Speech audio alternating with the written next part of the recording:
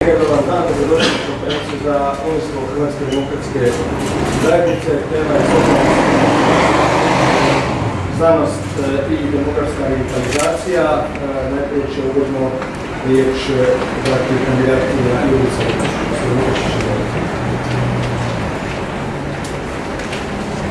Poštovane,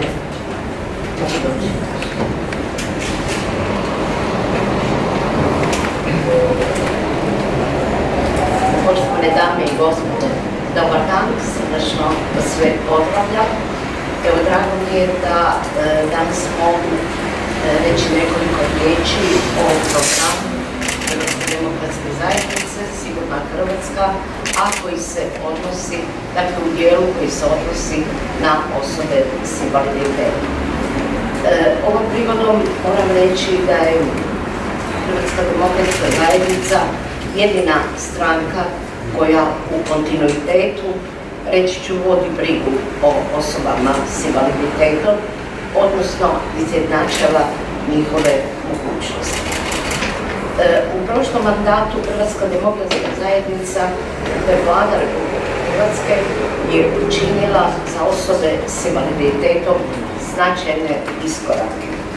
Imali smo dobar program 2016.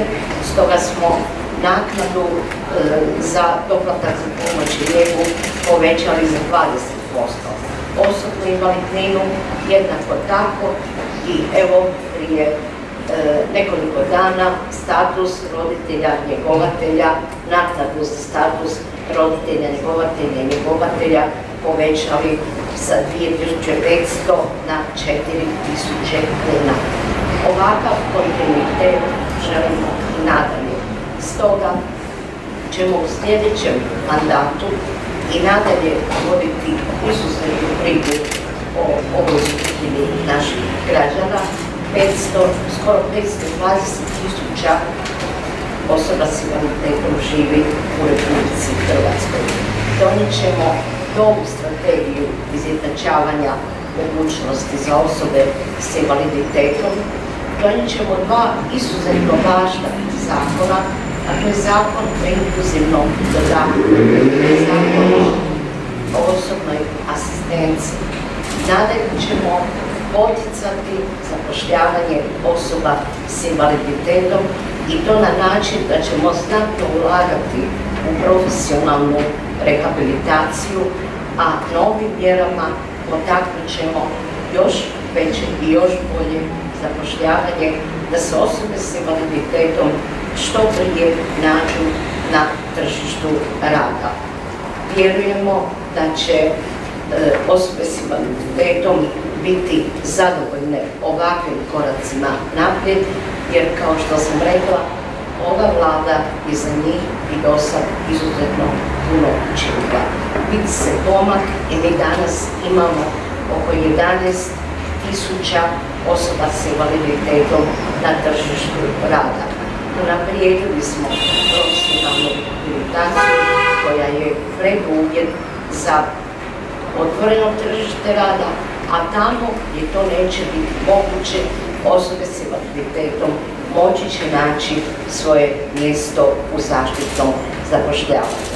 Ova je vlada uložila 360 milijuna kuna zapošljavanje osoba s invaliditetom i nadalje e, pripremili smo u programu i e, povećane mjere, a i ulaganje u radnu asistenciju za zapošljavanje osoba s invaliditetom. Hvala. Hvala lijepa. Lukačić, mogu sada Zahvaljujem, evo, možda malo, lijepo vas sve pozdravljam, možda malo nastavno na eh, ovo upravo eh, što je govorila gospođa Lukačić, vezano je za sve što je vlada učinila u ovom mandatu, a isto tako što vlada Hrvatske demokratske zajednice eh, planira i u sljedećem razdoblju a vezano je za osobe sa invaliditetom. Svakako da program Sigurna Hrvatska ima kao prvu točku koliko se stavila socijalnu sigurnost, što znači zdrava, solidarna i pravedna Hrvatska u kojoj se teži smanjenju nejednakosti i socijalnoj isključenosti. Kada govorimo o nejednakosti i isključenosti svakako u fokusu prije svega one osobe koje ne mogu živjeti od svoga rada, koje su krajno nesposobne ili one koje privremeno ili povremeno trebaju potporu društva i države. Svakako da ću posebno naglasiti, budući dolazi sa pozicija socijalne skrbi, sve ove naknade koje su učinjene i donesene u mandatu ove vlade, a posebno ih naglašavamo upravo zbog toga što e, mnoge ranije vlade prije nisu podizale niti osobne invalidninu, niti doplatak za pomoć e, i njegu, a isto tako ova vlada je uvela i nova prava prema osobama sa invaliditetom. E, svakako da kada govorimo o sustavu socijalne skrbi, da on djeluje na nekoliko područja, na davanju socijalnih naknada koje su usmjerene prema građanstvu, kroz razvoj djelovanja institucije i ustanove. Tu u svakom slučaju kao nositelja e, djelatnosti e, predstavljamo centre za socijalnu skrb koje u mandatu ove vlade smo naročito e, podržavali ulagaši i u njihovu obnovu, izgrađenju novih centara i u njihovu infrastrukturu. Sustavu socijalne skrbi najznačajniji alat je riječ, razgovor, savjetodavni rad, znanje e, koje e, koriste našim e, građanima kod rješavanja njihovih problema, odnosno uključivanje na one koji mogu uvažiti ili riješiti njihove probleme i tu su nam najznačajniji kadrovi. Zapošljavanje u socijalnoj skrbi je uvijek bio problem do dolaska ove vlade, isto tako kao i plaće. Od svih e, zaposlenika u javnom sektoru, zaposlenici sustavu socijalne skrbi su znatno e, bili e, u prosjeku ispod svih ostalih. 2018. godine išlo se sa korekcijom koeficijenata i radi usporedbe reći ću nekoliko podataka koji će jasno govoriti o tome koliko se je učinilo sa povećanjem plaća za zaposlenike i sustavu socijalne skrbi. Naime, e, visoka stručna sprema je 2016. godine imala prosjek plaće 5167, sada ima 7532 kune, a općenito zaposlenici u prosjeku 16. godine su imali 4760 kuna prosjek plaća, sada imaju 6669. Svakako e, da ja govorim o povećanju, a ne govorim o iskreno visokim plaćama, svakako da su potrebe puno veće i zasluge ovih djelatnika u svom radu e, treba svakako nagraditi e, u skladu sa mogućnostima. Ono što je posebno učinjeno je daši na neki način značaj teškoće koje oni imaju i opasnosti u svom radu, da im je priznan status službene osobe s obzirom da je javnost e, vrlo često upoznata da su na svom mjestu napadani, ugroženi i da su gubili e, i život. E, osim kadrova, svakako da smo u socijalnoj skrbi smo ulagali i u druge pomagačke djelatnosti koje su vezane za ovaj, ovaj E, brojni su još e, pomaci u ovom e, razdoblju, a vezane su za ovaj sustav. Ja ću posebno naglasiti borbu protiv nasilja, usvajanje konvencije Vijeća Europe o borbi i sprečavanju nasilja nad ženama i obitelji, kao i promjene zakonodavnih aktivnosti vezano za sprečavanje nasilja i ulaganje u autonomne kuće, u skloništa, sa ciljem da u budućnosti to bude još i svakako više i to je ovim e, programom i e, predviđeno. E, kada se govori o tome koliko je značajna socijalna skrb HDZ-ovoj vladi u ovom tekućem još mandatu, govori činjenica da je proračun na godišnjoj razini 2016. godine iznosio 4 milijarde 666 milijuna kuna, a 2020. 6 milijardi 440 milijuna kuna.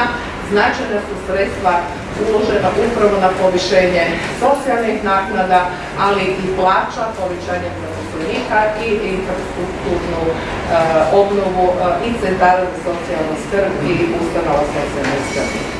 I e, za kraj ću naglasiti ono što je ministrica Bedeković puno puta rekla, a važno se da ja ne znam, bez obzira kako nas vremena čekaju, ali socijalne naknade koje su ostvarili naši građani, koje će ostvariti nikako nisu upitne, bez obzira što se išlo na rebalansiranje proračuna, one su predviđene upravo onako kako trebaju biti, da ostvarimo ono što u programu govorimo, a to je socijalna sigurnost naših građana.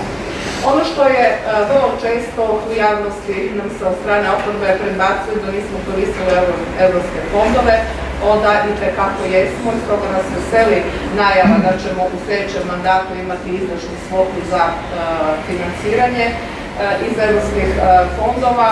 Mi imamo punu socijalne skrbi programa koji se pripremljeni i koji će se u budućnosti aplicirati i ugovoriti, ali samo još za kraj za usporede radi od 2016 do 2020. E, godine. Objavljeno je ukupno natječaja za 2 milijarde 250 milijuna kuna, ugovoreno za milijarde i 54 milijuna kuna, dakle povišenje e, na e, ugovaranju iz europskih fondova je 1316%, toliko u prilog svim onim kritičarima koji govore da Hrvatska ne zna privlačiti sredstva europskih fondova. Hvala. Hvala lijepa.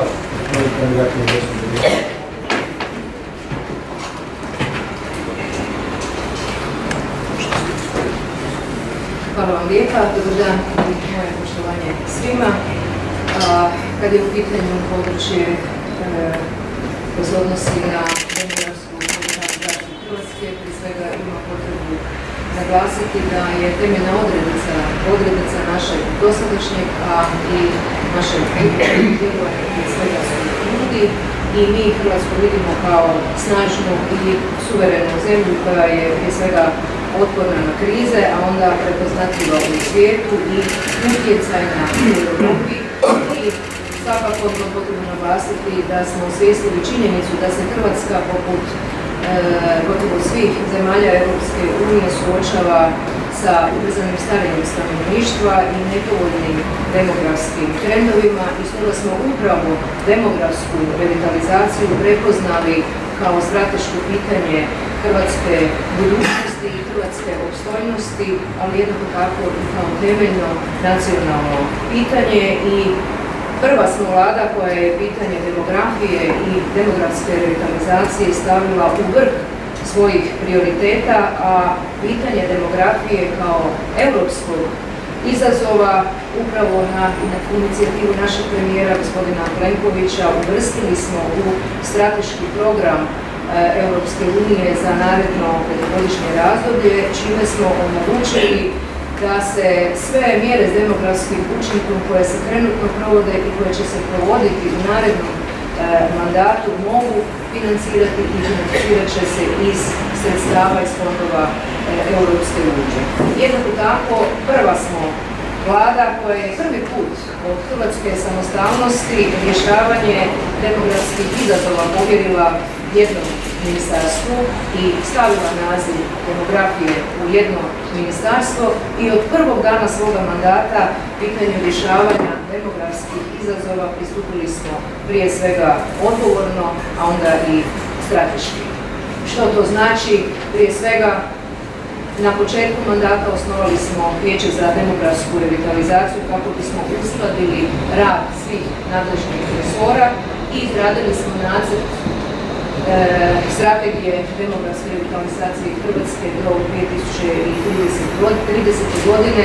Strategiju ćemo usvojiti u prvim mjesecima našeg sljedećeg e, mandata, prvenstveno zbog toga što smo uzeli u obzir e, činjenicu da smo se suočili sa pojavom pandemije, odnosno epidemije u Hrvatskoj COVID-19, koja je zaista globalni izazov bez presedana i ona će svakako na različite načine utjecati na mnoga područja od ekonomije, tržišta rada, standarda obitelji i svakodnevnog života i naravno na pojavu novih demografskih trendova i novih demografskih izazova i svakako ćemo e, i te izazove uključiti u strategiju koju, ćemo, koju smo već izradili, a usvojiti u prvih šest mjeseci mandata naše sljedeće Usporedno sa, usporedno sa izradom strategije demografske revitalizacije, mi smo u vrijeme u ovom mandatu pokrenuli čitav niz mjera za demografsku revitalizaciju zemlje i kako smo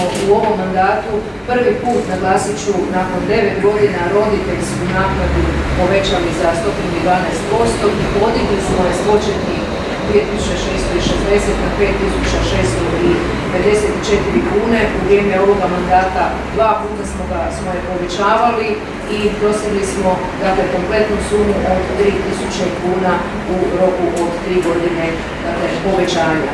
Jednako tako e, povećali smo dohodovni prag za ostvarivanje doplatka na djecu za 40%, to je ukupno za 665 kuna po članu kućanstva, čime smo ujedno i proširili krug korisnika doplatka e, za djecu.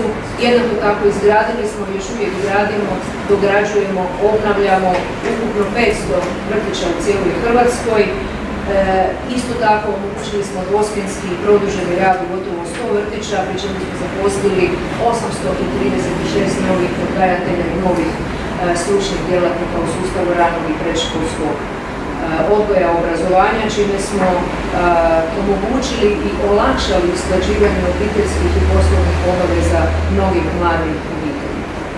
Isto tako, trenutno u 78 općina od prve do četvrte kategorije skupine po indeksu razvijenosti e, sufinanciramo troškove rada vrtića u mjesečnom iznosu od 500 kuna po djetetu, čime osiguravamo ravnomjeran regionalni razvoj predškolske djelatnosti u svim krajevima Hrvatske.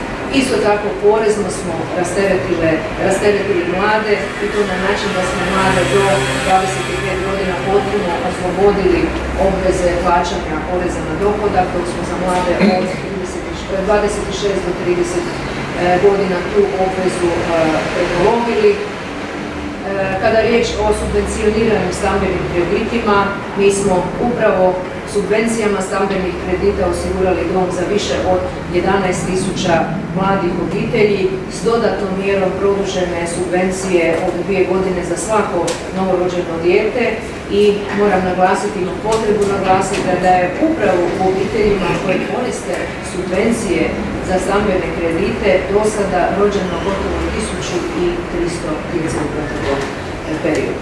I jednako tako majkama smo prilikom odlaska e, u mirovinu povećali radni staž za šest mjeseci za svako rođeno e, i svako posvojeno dijete, čime smo zapravo to pravo proširili na veliki broj majki i samo u prošloj godini ovo pravo je iskoristilo, odnosno ostvarilo 10.189 majki. Ovo su samo neke od mjera demografske inicijative koje su provedene u ovom mandatu. E, taj kontinuitet nastavljamo i na temelju do sada ostvarenoga u idućem mandatu se uvezujemo da ćemo prije svega poboljšati materijalni status trudnica u slučaju komplikacija u trudnoći kao i za vrijeme bolovanja za majke koje imaju djecu mlađu od 3 godine. Isto tako roditeljsku naknadu koju smo u ovom mandatu podizali u tri navrata podići ćemo na visinu pune plaće, osigurat ćemo, odnosno omogućiti očinski dopust u 10 dana za rođenje djeteta očevima kako bismo priključili u ranu skrb o djetetu.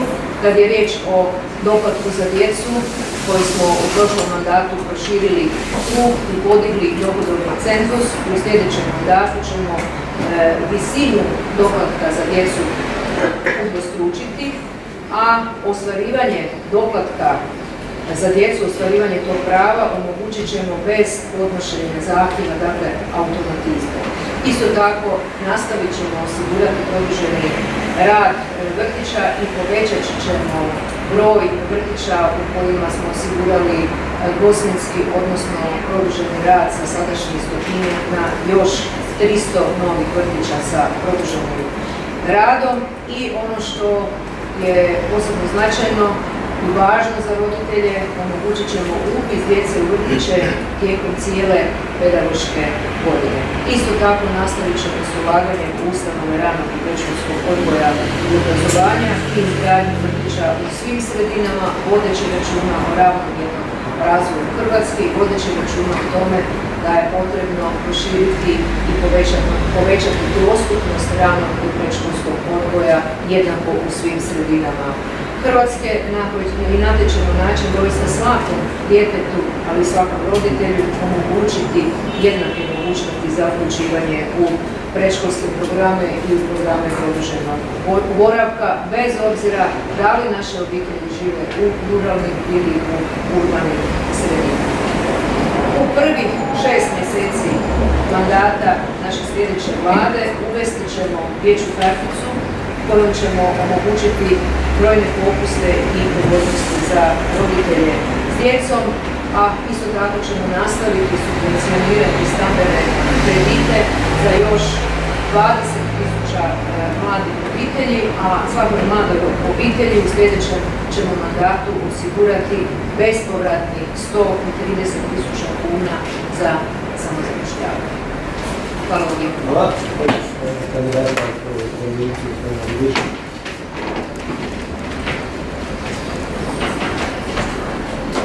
Dobar dan svima, sve vas srdečno pozdravljam. Ja sam kandidat u prvoj izbornoj jedinici gdje će biti predstavnik mladih.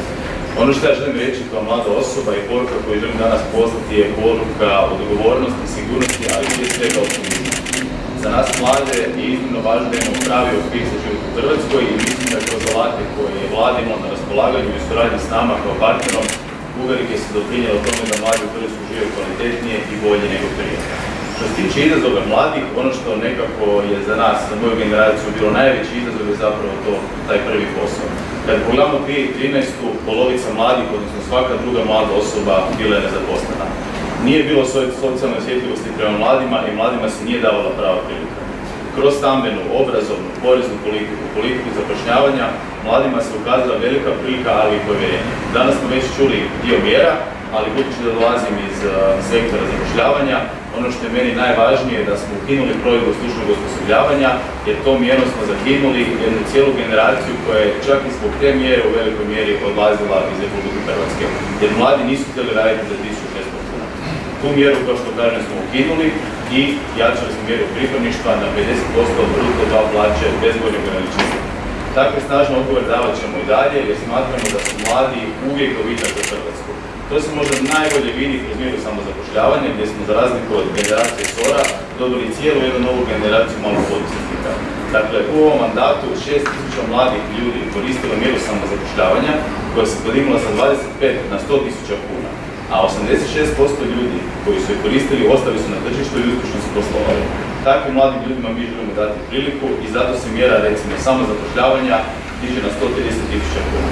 Što se tiče porezne politike, velik problem mladih je bio prekarni rad i zato su uvedene mnoge porezne olakšice, poput petogodišnje olakšice za zapošljavanje mladih na neodređeno.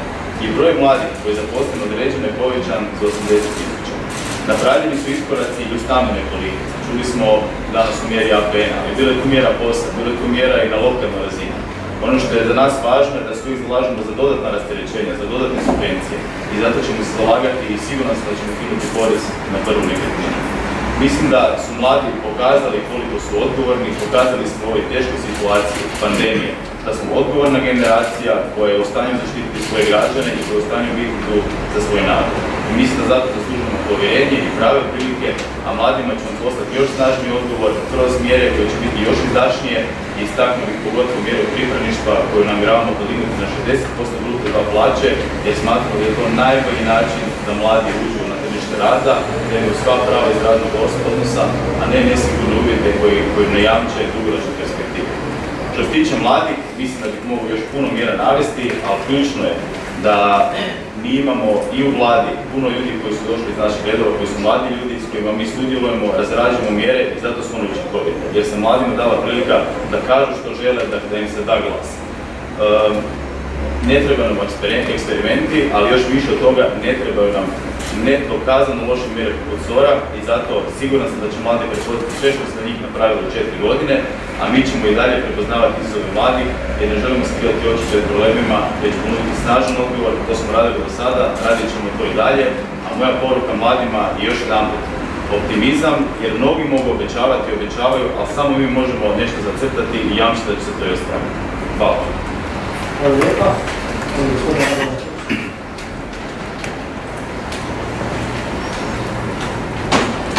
E, dobar dan, lijep pozdrav svima. Evo mene je zapala častna dužnost da u kratkim crtama predstavim program e, Hrvatske demokratske zajednice za e, sljedećih četiri godine mandata. U području znanosti i obrazovanja jednom vrlo kompleksnom segmentu koji se provlači de kroz sve more našeg društvenog i osobnog života. E, krenut ću sa ono što je najviše propitivano, e, a to je kurikularna reforma. Da, nastavit ćemo kurikularnu reformu, bez danjega, reformirati sustav se mora, ne samo od predškolskog, osnovnoškolskog, srednjoškolskog i visokoškolskog sustava, ali sa jednim ali kojeg naglašavamo cijelo vrijeme i drago mi je da su neke druge stranke preuzele i počele komunicirati prema javnosti to je e, tek nakon e, provedene znanstvene analize do sada učinjenog sa time da od neovisnih stručnjaka, neovisne znanstvene institucije imamo tako u Hrvatskoj se provede takva jedna analiza i da onda e, utvrdimo što je dobro, vidimo što je loše ili što nije dovoljno dobro i tek onda nakon toga sjedimo i krenemo raditi sljedeći projekt. O dječjim vrtićima, sad sam htio krenuti od najmanjih pa gore, rekla je kolegica Videković gotovo sve što sam imao na pameti, osim što ću spomenuti da osim izgradnje i povećavanja kapaciteta dječjih vrtića u svim mjestima u Hrvatskoj, dakle ne samo u velikim gradovima, apsolutno sa pozicije i sa stanovišta ministarstva znanosti i obrazovanja, ključni segment je da su e, djeca od 4 odnosno 5 godina e, pokrivena e, na način da od trenutka kad se steknu preduvjeti uvedemo takozvanu predškolu, svugdje djeca mogu pohađati u predškolu, ona postaje obavezna, samim tim naravno da taj, dio ovaj, predškole je i definitivno bez svih participacije roditelja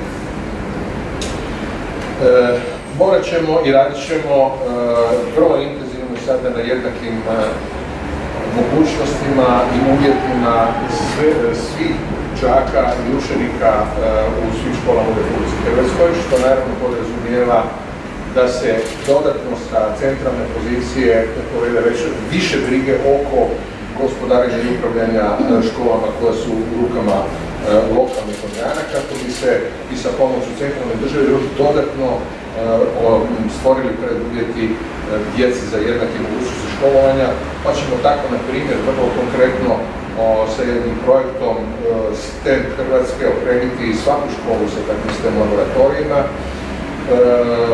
Radit ćemo intenzivno na stvaranju svih uvjeta za uvođenje cjelodnevne nastave u školama, dakle to implicira i dogradnju određenih kapaciteta, to jednako tako znači da ćemo morati reći na jednom jednosmjenski rad škola u čitavoj državi obavezno, e, jer ta cjelodnevna nastava opet dodatno još uključuje i topli obrok koji ponovno postaje onda e, e, financiran od strane države.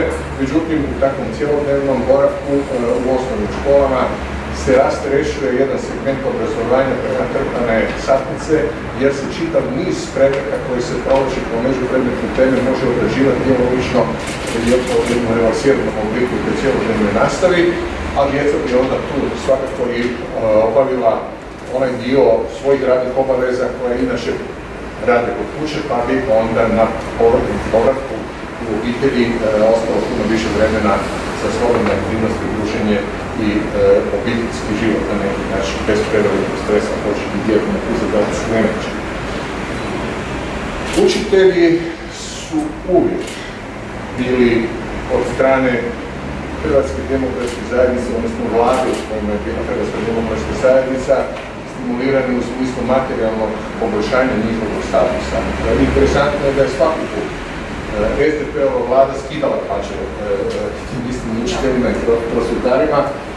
Evo zadnji put ste imali priliku kad je prošli aktualni ministar iz te vlade jednostavno digao ruku za smanjenje plaća ovaj, učiteljima, da bi sad naravno bio veliki problem. Mi ćemo nastaviti podizati plaće, definitivno, ovaj, to smo konačno pokazali i u ovom periodu, iako sam materijalni status sigurno ne vraća isključivo dignitet nastavnicima, na tome treba raditi ono što ćemo mi insistirati je da se napravi određena promjena u funkcioniranju i djelovanju obrazovne inspekcije, prosvjetne inspekcije, da se onemogući koje kako zlonamjerno prijavljivanje profesora, učitelja od strane neodgovornih, neću se više navesti koga, da li ili, ili, kolega, ali to tu sa tim anonimnim e, bombardiranjem prosvjetne inspekcije treba treba u načelu na neki način prestati, treba se iznaći modus, znamo otprilike šta bi se moglo primijeniti. Dakle, ima modela da se to izbjegne i da učitelji e, ne budu izloženi i ovakvom obliku nekakvog mobbinga na neki način. E, I intenzivno ćemo raditi na, na, na e, kontekstu dizanja svijesti samog društva oko statusa i uloge i značenja učitelja i nastavnika u našem društvu. Poticat ćemo rad sa nadarenim učenicima i učenicima sa posebnim potrebama. Meni je žao, ja sam svoje vremeno koordinirao onaj dio izrade kurikula i znam da je na, ta ekspertna skupina upravo uvidjela taj problem i donijela, napravila je jedan dokument ovaj, metodološkog priručnika i kurikula za djecu sa posebnim potrebama, koji nažalost nije ugledao svjetlo dana iz razloga problema s provođenju reformskih procesa koji se vežu na strategiju ćemo ako to isto tako e, promijeniti jer je postala, e, postala je e, problem u okviru sadnog procesa. Jačat ćemo dio koji se odnosi na vanjsko vrednovanje u osnovnim i srednjim školama kroz osnaživanje E, rada i autonomnosti agencija koje zato trebaju brinuti, dakle agencija ovog centra za vanjsko vrednovanje u visokom školstvu, to je naravno agencija za znanost i visoko obrazovanje. Oni moraju biti ti koji moraju raditi bez ikakvog pritiska sa strane i koji moraju generirati i proizvoditi podatke na osnovu kojih se onda donosi i vodi politika i usmjeravaju potezi od strane ministarstva. E, kažem vanjsko vrednovanje, to su nacionalni ispiti, naravno da se vidi i ovaj segment osnovnog obrazovanja u kojoj je kvaliteti. Strukovno obrazovanje je nešto što upisuje 70% naših e, učenika i taj, e, taj dio je vrlo zahtjevan u smislu reformiranja kurikula i nastavnih programa. Znam da je negdje treba dovršetak stotinjak novih modernih kurikula za strukovno obrazovanja. Pristup je e, da se oni rade zajedno sa poslodavcima i gospodarstvenicima i tu je osmišljen program mentorstva u ovaj, kompanijama za koje će se isto iznaći sredstva za financiranje onih koji će biti mentori u takovim firmama i raditi na osposobljavanju učenika. Ono što ćemo jednako tako napraviti je da se uvede e, jedan dobro organizirani sustav profesionalne orijentacije za učenike završnih razreda osnovnih škola, ali takav sustav kojem se vjeruje, koji će uredno procijeniti i sugerirati, e, koji bi bilo najbolji oblik školovanja za svakog pojedinog učenika na završetka osnovne škole. E, naravno da ćemo se pozabaviti visokim obrazovanjem koje je jednako tako od izuzetne važnosti. Podigli smo broj e, ukupno visoko obrazovanih u Hrvatskoj, jednako tako i porastao broj e, ljudi koji su doktorirali. Međutim, nastavit ćemo sa onim što smo mi uveli prije dosta vremena, a to je da će se upisivati na javnim učilištima e, besplatno prvu godinu, a kasnije će se participacija svoditi na to da li je neko izvršio ili nije izvršio sve svoje obaveze te godine, a ako je izvršio njegov studij za njega će biti besplatan do kraja, ako ne, onda će svoj sukladno autonomiji sveučilišta plaćati neku participaciju koju će da je sveučilište. Donijet ćemo, rekao sam prije, novu strategiju jer je ova postala handicap, ona nema vremenskog ograničenja, traje od ovdje tada donošenja pa do ne znam kada, iako nismo nikada problematizirali osnovne ciljeve strategije, oni su plemeniti, međutim e, nisu realni za ostvarenje u nekakvim vremenskim razlogima, zato ćemo donati jasnu strategiju na ograničeno vrijeme trajanja, jednako tako sa realno ostvarivim e, ciljevima.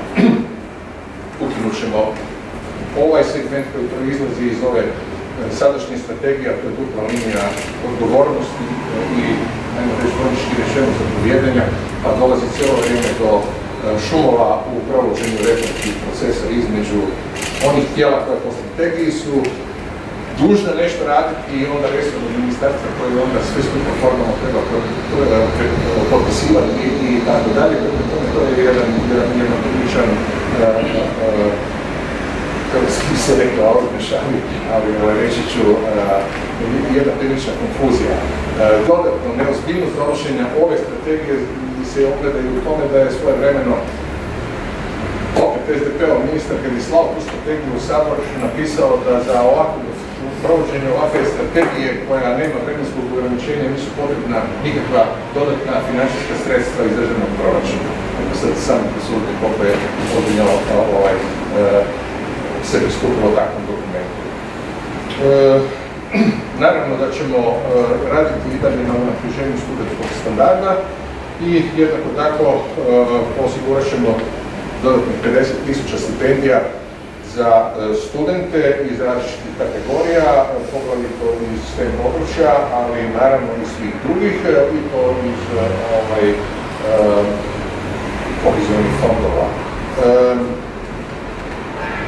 Mi ćemo jednako tako e, donijeti i nove zakonske okvire za područje visokog školstva i, e, znanosti. E, ćemo ponovno ulogu Agencije za znanost i visoko obrazovanje koja mora biti onaj jamac kvalitete visokog obrazovanja i njezine odluke ako se nešto treba ukinuti, zatvoriti zbog toga što ne zadovoljava kriterije obrazovanja treba a priori i e, definitivno poštivati. E, ja možda malo dulje, ali ovo je resor za da još da nemam bulletin jer bi o svakom od ovih mogli pričati do pola sata. E, povećat ćemo evo sredstva, pokušavamo biti brzo mogu u području istraživanja i razvoja, dakle za znanstvene istraživanja se sadašnji 1% izdvajanja BDP-a na 2,5%, to nam je definitivno cilj i to iz državnog proračuna, ne onaj dio koji se odnosi na sredstva koje dolaze iz fondova, jer svaka država mora dodatno brinuti o svojoj nacionalnoj e, znanosti. E, suradnju između gospodarstva i znanstvenih institucija, e, naravno inovacije i, i ovaj, e, sve ono gdje se znanost i gospodarstvo u velikoj mjeri ispregliču. E, dodatno ćemo e, isto tako ovaj, raditi na tome da se e, revidira i vrati onaj sustav znanstvenih novaka koji nam je se pokazao vrlo dobrim da u trenutku se od njega ponovno bezrazložno odstupilo, a on je između ostaloga bio garant i zapošljavanja mladih izvršnih znanstvenika i onda opet vrijeme vlade manje. Dakle, ono što je dobro treba vratiti, ono što je dobro treba zadržati, a ono što ne treba promijeniti. Programsko financiranje je nešto što ćemo također napraviti kroz one zakonske okvire, a to je da de facto trajalo programsko financiranje se sveučilištima omogući dodatna ovaj, autonomija i u raspolaganju sredstava koje dobivaju, ali i odgovornost, e, tako da je to dvosmjerna, dvosmjerna pozitivna e, mjera. E, I da, na kraju svakako brinut ćemo o takvim inovacijama, ali i o hrvatskim znanstvenicima izvan Republike Hrvatske e, na način da ćemo osmisliti pokrenuti program koji će ih ne po svaku cijenu vraćati natrag, ali omogućiti da dođu da sa posebnim povedu godinu dvije sa našim znanstvenicima, našim znanstvenim institucijama i time ovaj, se toga na uspješi povežu sa domom. Hvala. Hvala lijepo, molim mjesto.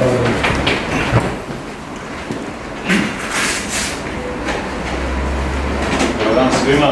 Evo, drago mi da možemo danas predstaviti socijalnu sigurnost kao jednu komponentu našeg programa, odnosno što, što ćemo sve učiniti i što smo sve učinili po pitanju socijalne sigurnosti. Prvi znak koliko je Hrvatska demokratska zajednica socijalna sigurnost u fokusu je svakako ta e, činjenica da u samom programu u pet naših strateških ciljeva ona prvo mjesto. Drugi znak što mislimo o socijalnoj sigurnosti su dosadašnji rezultati koje smo postigli. Ako govorimo o dosadašnjim pokazateljima iz konteksta ekonomskih pokazatelja vezanih za socijalnu sigurnost, onda se moramo prisjetiti što je u četiri godine učinjeno. Kvantificirani podaci, dakle podaci koji nisu porecivi, koji se ne mogu dovoditi u pitanje, govore sljedeće. Plaće smo povećali za 1100 kuna prosječne plaće. Minimalne plaće smo povećali za 750 kuna, Mirovine smo povećali za 12%, dok smo one, onim najugroženijim skupinama umirovljenika, preko 250 tisuća umirovljenika, povećali mirovine za preko 15%. Mnogo veće, značajnije veće povećanje nego u svim prethodnim mandatima naših političkih oponenta. U posljednjih nekoliko mjeseci pokazali smo da se znamo nositi s krizama. Pokazali smo da se znamo nositi s krizama iz epidemiološkog, odnosno zdravstvenog aspekta, ali pokazali smo da se znamo, možemo i hoćemo nositi i sa ekonomskim krizama. ono što smo učinili u posljednjih nekoliko mjeseci, sada vidimo zapravo prve rezultate, prve plodove toga rada i prve rezultate onoga svega pozitivnog što je učinjeno u ekonomskom kontekstu. Zaštitili smo 611 tisuća radnih mjesta, zaštitili smo preko 100 tisuća poslodavaca i uložili smo u mjere više od 5,6 milijardi kuna. Vrlo jasan signal što Hrvatska demokratska zajednica misli o socijalnoj sigurnosti, što Hrvatska demokratska zajednica misli o sigurnosti naših građana i što misli o ekonomskim kretanjima koja će utjecati na standarde svih nas. ono što je naš zavod u ovoj političkoj utakmici je ono što smo učinili. Dakle, vrlo svjesno, vrlo kvalitetno i vrlo jasno možemo artikulirati sve što je učinjeno i to je zavod za ono što ćemo učiniti. U našem programu smo istaknuli koji su naši ciljevi. Naši ciljevi su dostižni, naši ciljevi su realni, naši ciljevi će biti ispunjeni nakon što formiramo novu vladu. Dakle, povećanje prosječne plaće na 7600 kuna, povećanje minimalne plaće za 1000 kuna na 4250 kuna, povećanje mirovina i naravno konstantno ulaganje u mjere aktivne politike zapošljavanja, konstantno ulaganje u sve one sustave koji jamče socijalnu sigurnost građana Republike Hrvatske. Još jednom ponavljam, ono što nas čini partnerima s građanima koji mogu učiniti sve ono što smo obećali je zavod iz prošlosti da smo to već učinili. E, tako da na ovim izborima mislim da je vrlo jasno ako gledamo kontekst socijalne sigurnosti za koga bi trebalo biti znati Hvala. Hvala lijepa. Molim vas, pitanja. I samo recite koga je upućen, evo tako e, Evo za gospodina Vidiša, zašto ste uvodili porez na prvu nekretninu da bi sad najavili da ćete ga ukinuti?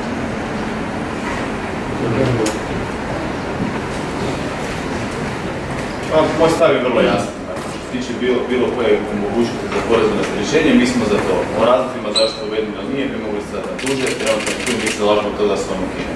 Ali to nije, to nije jedina mjera stambene politike, najavit ćemo još mnoge, kao i mjeru aktivacije državne imovine, što se već provodi, kao što sam rekao, u lokalnoj županijskoj razini. To su HDZ-ove mjere koje očekujemo veliko uspjeh u budućnosti. Može dalje?